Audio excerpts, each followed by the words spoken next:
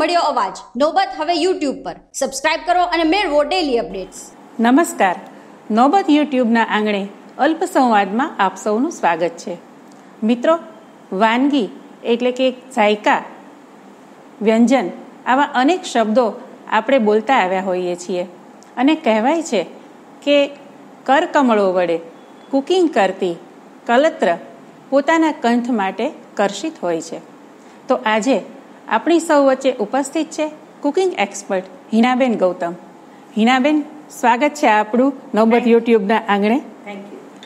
હિનાબેન તમારી મારે વિશે જો ટૂંકમાં કહું તો એક નાનકડા ટાઉનમાં ઉછરેલી છોકરી તેને એક એવું સ્વપ્ન હતું કે દેશ વિદેશના ઘરે ઘરના કિચનમાં પોતાનું નામ ગુંજતું કરવું હતું. અને તે માટે આપ આપનો મેડિકલ અભ્યાસ છોડી એક કુકિંગને પેશન બનાવી અને આપે આ આપનું સ્વપ્ન સાકાર કર્યું છે. તો એ આપણા સૌ માટે ગૌરવની વાત છે અને ખરેખર અભિનંદનને પાત્ર છે. તો આ તમારી સ્વાદ યાત્રાની કેવું લાગે છે, હિનાબેન? રાઈટ હવે તન્વીબેન, સૌથી પહેલાં કોઈ પણ લેડી હોય, એ મધર હોય સિસ્ટર હોય ડોટર હોય વાઈફ હોય, કંઈ પણ હોય પણ એ એક સ્ત્રી છે. અને સ્ત્રી માટે ગમે એટલું ભણે, ગમે એવી કેરિયર હોય, ગમે એવા પ્રોફેશનમાં જાય, કેટલી પણ એમ્બિસિયસ હોય, દેશ વિદેશ ફરે, પણ રસોડું એની સાથે જોડાયેલું હોય. રાઈટ સો હું તો મારી ડોટરને પણ હંમેશા કહું, એ પણ ડેન્ટિસ્ટ છે. સો હંમેશા એને હું એક એડવાઇસ કરું કે, બેટા, જે ભણે ને, એને બે ફિલ્ડ સંભાળવાના છે. જે નથી ભણતું, એને આરામથી હોમ મેકર તો છે જ. એ ફિલ્ડને સંભાળી અને you can enjoy your life so ભણો કેરિયર ઓરિએન્ટેડ હો કે એમ્બિસિયસ હો કંઈ પણ હો પણ સ્ત્રી અને રસોડું એ એકબીજાના પર્યાય છે. એ ક્યારેય છૂટા ના પડી શકે. સો મેં જે મારું એક કામ હતું અથવા લાઈફનું એક જે મેં તમને કહ્યું એ પ્રમાણે જે ના છોડી શકાય એવું એક જે ફિલ્ડ હતું એને જ મારું પેશન બનાવી દીધું. So I enjoy it like એવું કહી શકાય કે સચિન તેંડુલકર માટે ક્રિકેટ એનું પેશન હતું અને એને જ એણે કેરિયર બનાવી. So he is very happy with the career so same is with me બહુ સરસ કહેવાય હિનાબેન. અત્યારના ટ્રેન્ડની થોડી વાત કરીએ તો અત્યારે યંગસ્ટર્સમાં છે કે વર્કિંગ વુમનમાં છે કે હાઉસવાઈફને અત્યારે એક એવો ટ્રેન્ડ ચાલે છે કે ક્વિક એન્ડ ઇઝી રેસીપી અને સાથે ઓછા ઇન્ગ્રેડિયન્ટ્સ હોય. તેમ છતાં કંઈક નવીનતમ બને અને સ્વાદમાં ખૂબ સરસ હોય. એવી વાનગીઓ બનાવવાની હોય તો ખૂબ મજા આવે. તો એને માટે તમારું શું કહેવાનું છે? સાચી વાત છે. જો મારે ત્યાં ઘણા બધા યંગસ્ટર્સ એના મમ્મી પપ્પા લઈને આવે કે સાસુ સજેસ્ટ કરે. એટલે દીકરી હોય દીકરો હોય ફોરેન જનાર સ્ટુડન્ટ્સ હોય બધા આવે એ લોકોને મૂકી જાય કે એને ફોરેન જવાનું છે અથવા એની મેરેજ થવાનું છે. તો એકલા હવે ક્યાંક હોસ્ટેલમાં રહેવા જવાનું છે તો ક્યારેક ક્યારેક કંઈક બનાવવું પડશે. તો બેટર કંઈક કુકિંગ શીખી લે. રાઈટ મેરેજ રેડી ગર્લ્સ માટે તો પેરેન્ટ્સને એવું હોય જ કે ના એને કુકિંગ તો આવડવું જોઈએ. It's true also in a way હવે આજના જમાનામાં તો સ્ટુડન્ટ તરીકે ફોરિન દીકરો જતો હોય તો એના માટે પણ જરૂરી છે. રોજે રોજ જંક ફૂડ કે પીઝા પાસ્તા ખાઈને કંઈ લાઈફ એટલી જવાની નથી રાઈટ સો એ લોકો જ્યારે મારી પાસે આવે તો મમ્મી પપ્પાની એવી ફરિયાદ હોય કે એને કુકિંગ ગમતું નથી. હું કહું કે સારું. લીવ દેમ હિયર મૂકીને તમે જાઓ. હું એ લોકો સાથે વાત કરું કે મમ્મી કહે છે, એ શીખવું જરૂરી નથી. તને શું બહુ ભાવે છે? એ મને કહે. એ આપણે શીખવું જરૂરી છે. સો, એક વખત એને ભવતી વાનગી, કોઈ પણ વાનગી હોય, જંક ફૂડ છે કે રૂટીન ફૂડ છે, રેસ્ટોરન્ટ ફૂડ છે, કેફે ફૂડ છે, કે હેલ્ધી ફૂડ છે, પોસ્ટ વર્કઆઉટ છે whatever it is their choice should be there so હું એનાથી એ લોકોને શરૂઆત કરાવું. પછી હું એને એવું કહું કે ચલો તને ભાવતી વાનગીઓ તો આવડી ગઈ. હવે તને એવું ના ગમે કે ક્યારેક તું તારા મમ્મીને ભાવતી વાનગી બનાવે. તો હમણાં એક બહુ જ રેપ્યુટેડ ફેમિલીની દીકરાની દીકરી આવી હતી. એને દાળ શું જીરું શું અજમો શું તુવર દાળ મગ દાળ કશું જ ખબર નહીં. મગની દાળ હોય ને એને બેબી દાળ કે પેલી હોય તો કે મોમ દાળ. પેલું જીરું હોય તો કે જીનું મોટું અજમો. એવી એવી રીતે. તો એને મેં એને ભાવતી વાનગીઓ શીખવાડી પાંચ સાત પછી કહ્યું કે આજે પપ્પાને ભાવતી વાનગી શીખવાડું તો. કે મારા પપ્પાને બટાકાનું શાક અને રવાનો શીરો બહુ ભાવે. ચલ આપણે આજે આ શીખીએ.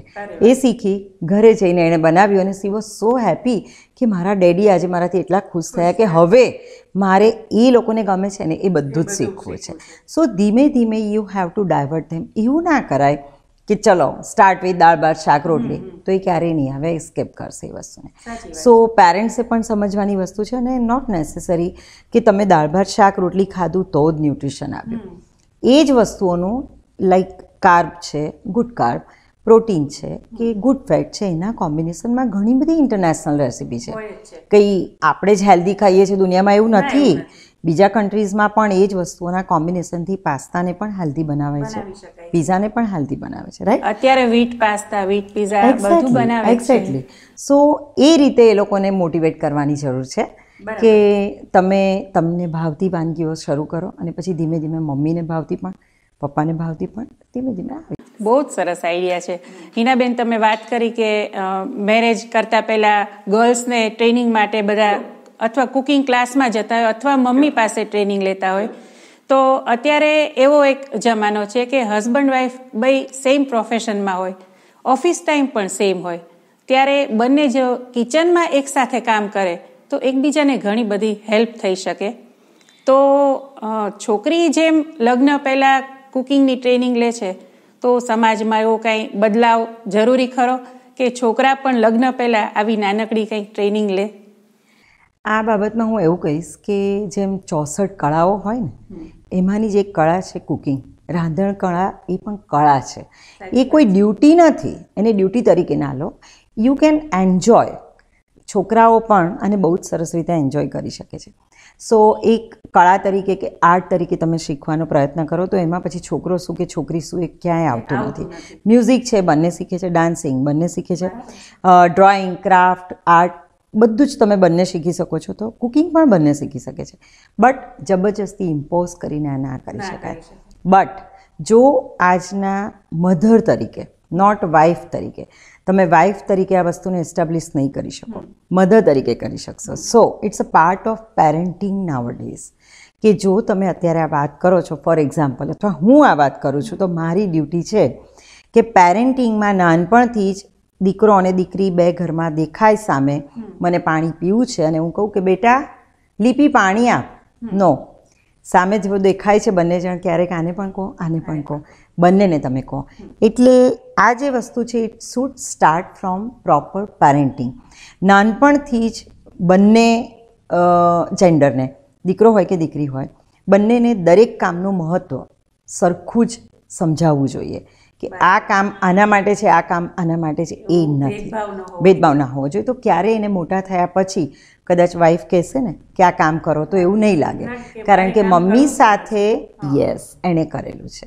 સો એક તો એક આર્ટ તરીકે એને લેતા શીખવાડો અને બીજું equal equality gender equality it should start from parenting not wife માટે એ કામ બાકી ના રાખશો.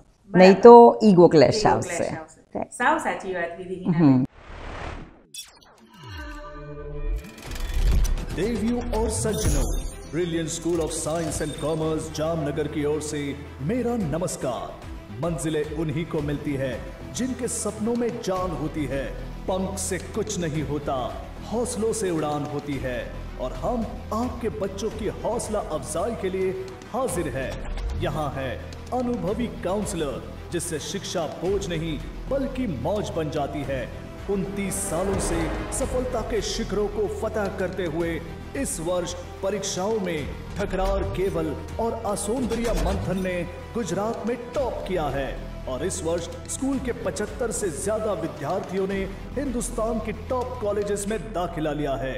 Brilliant, a complete school with chance for 100% scholarship, जो आपको रखे आगे। डेमो क्लास 25 मार्च 2019 से शुरू। एक वीक डेमो तो बनता है यारो। चेयरमैन श्री अशोक भट्ट और मैनेजिंग डायरेक्टर श्रीमती उष्मिता भट्ट। हमारी एक नई ब्रांच शुरू हो रही है। Pragati park part two Krishnanagar main road phone लगाया जाए। Brilliant school of science and commerce Linda lane Jamnagar brilliant school of science and commerce Hinaben અત્યારે ફાસ્ટ ફૂડનો ટ્રેન્ડ છે અને બધાને જ ભાવે છે ફાસ્ટ ફૂડ પણ એ એક જંક ફૂડ તરીકે બધા ખાતા હોય છે. પણ ફાસ્ટ ફૂડ ખાવું પણ હોય અને એનું હેલ્ધી વર્ઝન પણ કરવું હોય તો કઈ રીતે કરી શકાય? બહુ સાચી વાત છે તમારી. It's a good question for all concern mothers બધી મમ્મીને એવું હોય કે ના જુદી જુદી વેરાયટીઝ તો આપવી જ છે મારે બચ્ચાઓને. પણ સાથે સાથે એક સીનફુલ પણ ના લાગવું જોઈએ કે મારા બચ્ચાને મેં અનહેલ્ધી આપ્યું. સો આનો એક જ ઉપાય છે કે સૌથી પહેલાં હું તમને એવું કહું કે you start with your fridge and store room કે એમાં જે ઇન્ગ્રેડિયન્ટ્સ છે it should be replaced with healthy substitute like માની લો કે તમે બટર વાપરો છો તો યુ કેન ચૂઝ જેમાં મૂફા અને પૂફા વધારે હોય અથવા સેચ્યુરેટેડ ફેટ ઓછી હોય ઝીરો કોલેસ્ટ્રોલ હોય એવા લાઇટ ફેટ જેને કહેવાય એ અવેલેબલ હોય છે. એ તમે મૂકી દો.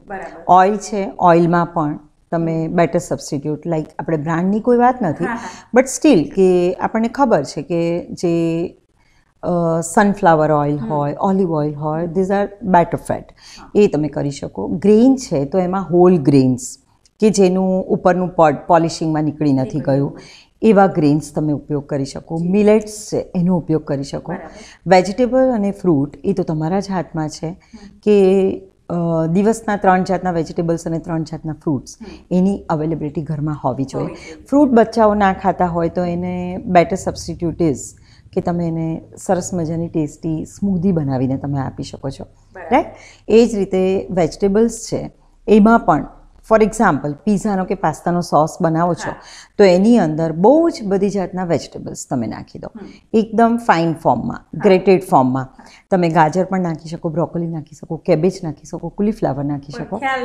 એક્ઝેક્ટલી એક્ઝેક્ટલી પણ એનો ટેસ્ટ જ્યારે તમે ટેસ્ટ ડેવલપ કરો છો ત્યારે એને ભાવતા જે સિઝનિંગ છે કે તમે ચીલી ફ્લેક્સ ઓરેગાનો પછી જે હર્બ્સ છે ડ્રાઈડ હર્બ્સ છે ઇટાલિયન હર્બ્સ છે મેક્સિકન હર્બ્સ છે એ તમે ઓવર પાવર થાય એવી રીતે એમાં નાખો.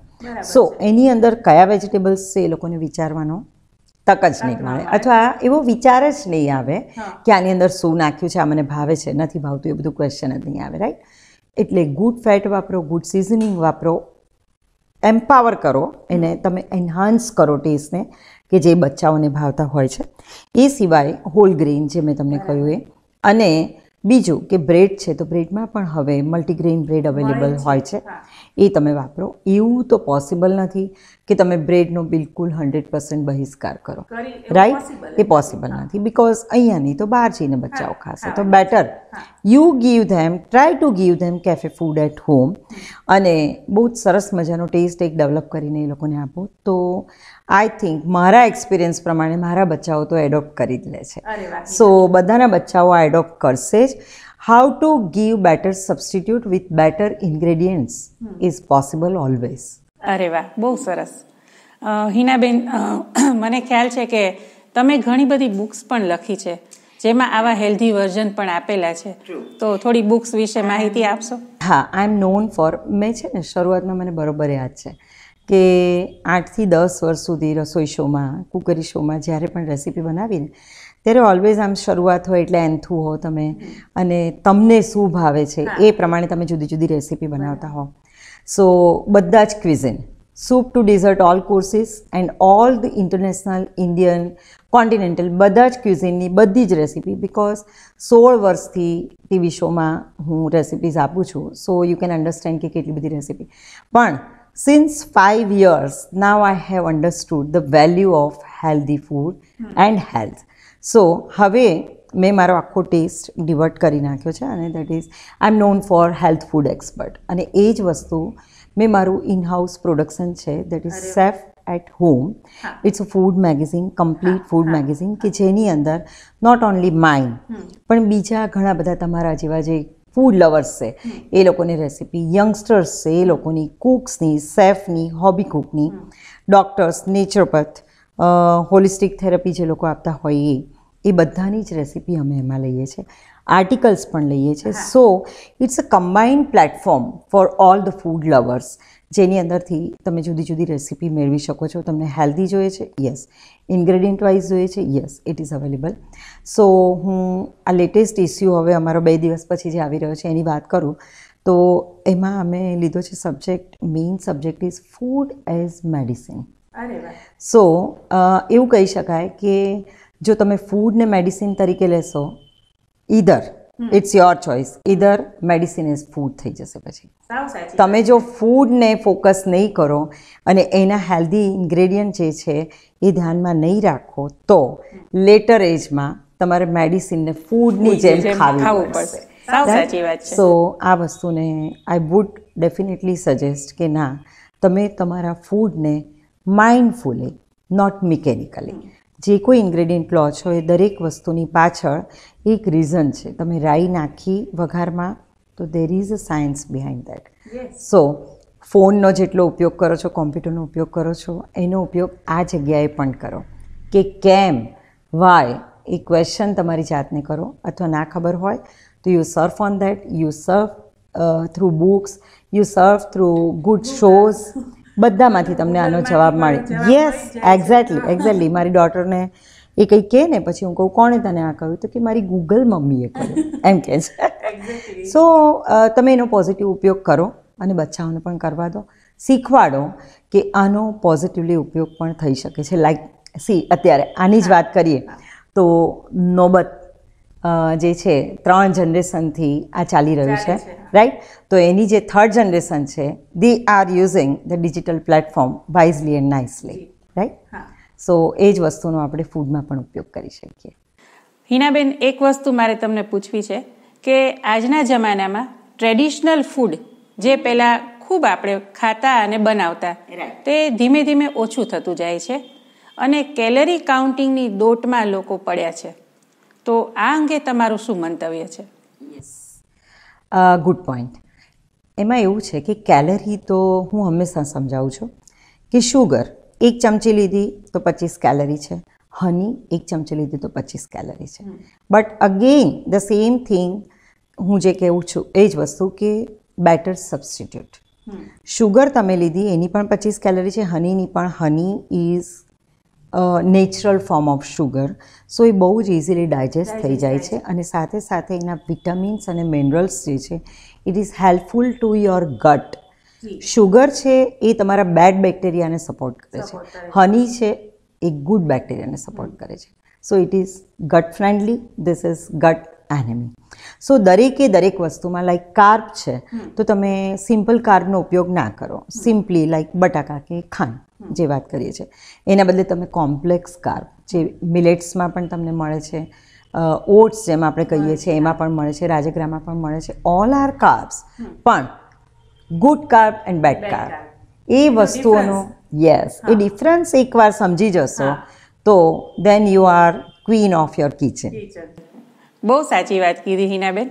અને અંતમાં મારે એક તમને ક્વેશ્ચન પૂછવો છે કે આજની સ્ત્રી આજની હાઉસવાઈફને આપના તરફથી કંઈ મેસેજ યસ હું હંમેશા કહું છું કે ક્યારેય એવું ના વિચારો પુરુષ સમોવડી. એની જરૂર જ નથી. વિમેન્સ લિબરેશન એની જરૂર જ નથી. તમને ભગવાને જે પાવર આપ્યો છે તમને ભગવાને જે સ્કિલ આપી છે તમને ભગવાને જે ફિલ્ડ આપ્યું છે it is based in world એ ક્યારેય પુરુષ ત્યાં સુધી પહોંચી શકે એમ છે જ નહીં. So it is the real power in your hand your kitchen your food your taste your care અને એનાથી જ તમે તમારા ફેમિલીને હેલ્થ આપી શકો છો. અને એના દ્વારા તમે એક હેલ્ધી સોસાયટીનું નિર્માણ કરી શકો છો. So enjoy your field of cooking enjoy your kitchen અને be happy with your kitchen કે તમે એવું એ શેર જ શું કામ કરવું છે આપણે કોઈની સાથે? આ મારું ફિલ્ડ છે આ મારી ટેરેટરી છે you don't enter I am enjoying right so હું બધા લેડીઝને એવું કહું છું કે તમે આને એન્જોય કરતા શીખી જાઓ. મેક ઇટ અ પેશન હું એમ નથી કહેતી કે સાંજ પડે ને તમે તમારો બે કલાકનો ટાઈમ એમાં આપી દો ને દાળ ભાત શાક રોટલી મીઠાઈ ફરસાણ બધું સર્વ કરો અને પછી કેવું થાય? એક વખત મધર બનાવે ને પછી બચ્ચા ના ખાય ને મેં આ કેટલા પ્રેમથી બનાવ્યું કોઈ ખાતું નથી. ના એવું કરવાની જરૂર જ નથી. એમને શું જોઈએ છે? એ વસ્તુને હેલ્ધી બનાવી દો. બસ. એક જ વસ્તુ હશે. Every one will enjoy it and you will be happy for that સાવ સાચી વાત કીધી હિનાબેન. ખૂબ મજા આવી. થેન્ક યુ વેરી મચ અને દર્શક મિત્રોને ઘણી બધી વાતો જાણવા મળી હશે. અને તમે ખાસ અહીંયા જામનગર ડિલાઇટ ક્લબ માટે આવ્યા છો પણ નોબતને આંગણે આ યુટ્યુબને આંગણે આપ પધાર્યા છો તે બદલ આપનો ખૂબ ખૂબ આભાર. Thank you very much thank you Tanviben thank you Nobat and thank you Jamnagar again તો મિત્રો નોબત યુટ્યુબ દ્વારા અલ્પસંવાદ નામની સિરીઝ આપની સમક્ષ અવારનવાર મૂકવામાં આવે છે, જેમાં અનેક વિવિધ ક્ષેત્રના એક્સપર્ટ્સની મુલાકાત અને વાર્તાલાપ સાંભળવાનો આપણને મોકો મળે છે. તો ચેનલને લાઇક, શેર અને સબસ્ક્રાઇબ કરશો, સાથે બેલ આઇકન દબાવવાનું ના ભૂલશો. ફરી મળીશું આવા જ એક નવા અલ્પસંવાદ સાથે. ત્યાં સુધી બાય બાય.